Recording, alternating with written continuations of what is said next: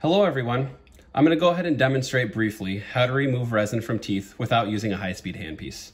Now as you can see, we already took the brackets off, but there's some facial resin here still.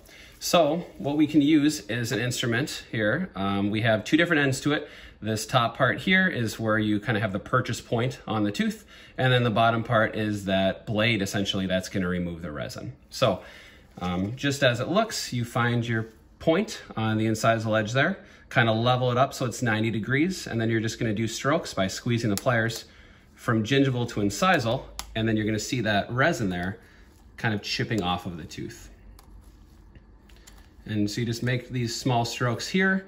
I wouldn't expect this to be perfect, but it'll get the bulk of the resin off of the teeth. And then later on in a month or two, when you feel more comfortable, we can go ahead and remove the remaining. So just a couple of contraindications to think about prior to doing this procedure. One of them would be if anybody has any sort of pre-treatment facial resins, that's something you wanna be aware of as when you're doing this stroke here and removing the BracePaste, that filling might be bonded to the BracePaste and then the whole thing dislodges. So I'd look over the pre-treatment radiographs as well as the photos, just ensuring that there aren't any sort of resins that you may dislodge.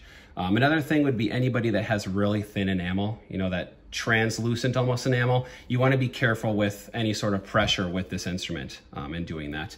And lastly, if anybody has any sort of decalcification, especially on that gingival area, if you were to kind of scrape at that area, it actually kind of turns into a spoon excavator at that point if that enamel is really soft. So be, being aware of all of those things is very important before starting the procedure.